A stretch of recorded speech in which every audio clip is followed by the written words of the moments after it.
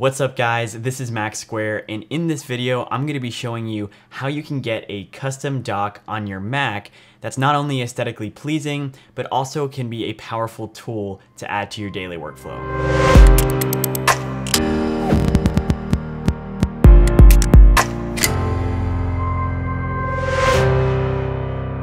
So the way we can do this is by using an app called uBar. And what this will basically do is replace the system or native dock for your Mac. So it'll hide that and replace it with its custom dock, which you can customize and add certain tools to. So let's check it out.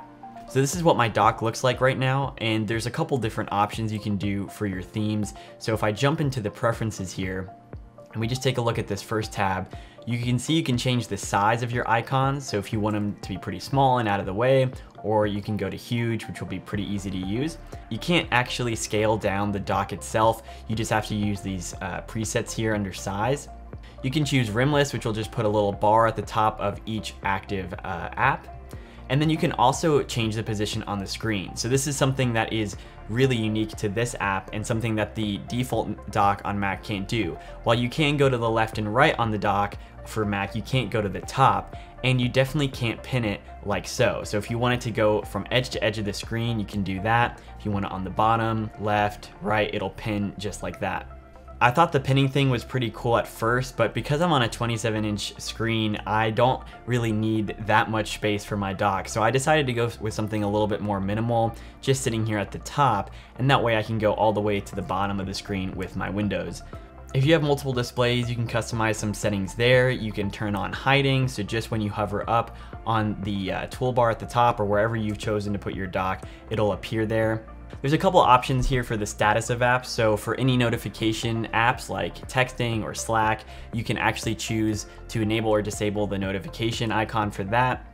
And then if there's any apps that need your attention, maybe they're frozen or whatever, you can see that. And what's cool about that is they make it pretty obvious in the toolbar. So when you're opening an app, it'll actually put like a gray stripe background on the back so you can see that it's not actually open. And the same thing happens when it freezes as well. And then a really useful tool is the window previews. So window previews will basically just show you a thumbnail of all the windows you have open. So if I hover over Chrome, you'll see that I have two icons here, but if I open these windows up, you'll see it actually updates with the thumbnails to show that it's open. Now I think this is a little annoying because I would rather just show what windows are open regardless of whether they're minimized or not, but it's still pretty helpful when you have a ton of different uh, windows open, especially just for one app and you can quickly see where you are with these little titles and stuff. Now, if you've been on this channel before, you'll know that I really love customizing my apps and making them a little bit nicer to look at, especially ones that I use every day. And so you can actually customize the theme of this. I have it just set to system and I have my whole system on auto. So during the day, it's on this light theme. And then when my toolbar and wallpaper switch to the dark UI, so will uBar. And you can actually change this to be system, you can keep it on light, go to dark, and they have a couple of other options. And then you also have a custom option which is pretty limited in my opinion. The background opacity, for example, can only go to 5%, and it would be pretty cool if you could go to zero.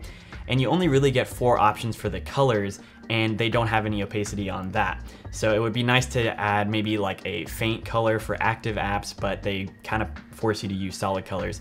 So I just keep it on system, which is fine for now. But what I get most out of this app are the tools. And so you'll see I actually have a clock here at the top right. And if I hover over here, it'll actually show me a calendar with a preview of all my events.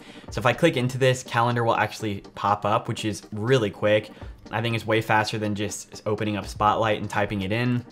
And I've definitely used this on a couple of calls when I'm talking to someone and I need to quickly make an appointment, see if I'm available. I can even just hover over and if I know the day is clear, I can go ahead and make that appointment. I don't have to type in there or go find a planner or anything.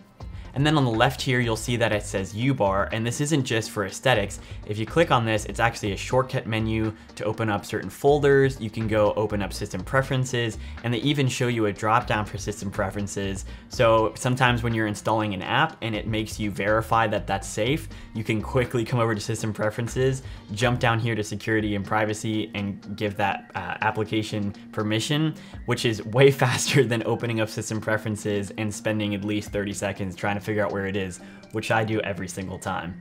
Now what you see on that menu is completely customizable under the menu tab. You can enable any of the preset folders, or if you have some other custom folders, you can just add them here through Finder, and then you can have that as a shortcut right in your dock. If you don't want the menu at all, you can jump into areas and just turn that off. And underneath that, you'll see we have favorites. Now this did take me some time to figure out for this app because when I first opened it up, I had a bunch of apps open, but then when I started quitting them, they all disappeared from my dock. So I was only left with one app that was running. So if you want that to happen, you can leave it as is, but I decided to use favorites. That way even if the app is closed, it'll still show up because I like to have just a certain amount of tools that I'm familiar with always there.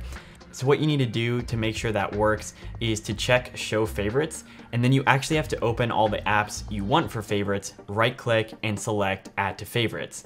And what's more annoying is that you actually have to manually select move back, move forward, and move across to get these to the position that you want them to. So you can't just click and drag or there's no simple arrangement tool in the preferences. You actually have to manually do that. But of course, if this is just for favorites, you do it once and then it's set up. And again, if I select don't show favorites, it'll just show apps that are currently open. And if I start to close those, like so, you'll see that they disappear pretty quickly. And then my dock gets pretty small. There's a couple other features you can see here, like showing the desktop. So if your windows are super cluttered, then what you can do is just click this little icon at the top. It'll move all those windows to the left and right and up and down, whatever. And then you can see what files are on your desktop. If you're someone who uses multiple spaces, you can check that and you can click and jump between those. You can show your battery, show the trash icon, and then you can enable or disable the date and time. So that's pretty much the bulk of the features here. There is a list of apps that you can exclude, kind of blacklisting those apps to never show up on the dock if you want. Maybe if you have tools that just run in the background, and there's no way to disable the icon, you could just add those to the list and then they won't show up. You can also add some shortcuts and then lastly there's a feature to enable dockless mode which will basically just completely hide your native dock so that uBar is the only thing that shows up. So I actually had this mode off when I was first testing the app just to get a hang of it and if I needed to get an app really quickly I could just hover over to the right side of the screen and my dock was there and then once I got the hang of it I switched it on. So I think uBar is a pretty powerful tool and I've been using it for a couple days now and really been enjoying it. But there are definitely some things that I don't like about it. The first thing is the price. It is $30 and I think that is just a little too much for what the app is offering, mainly because there's some bugs and features missing that I think could have been incorporated, which I will get into in just a second.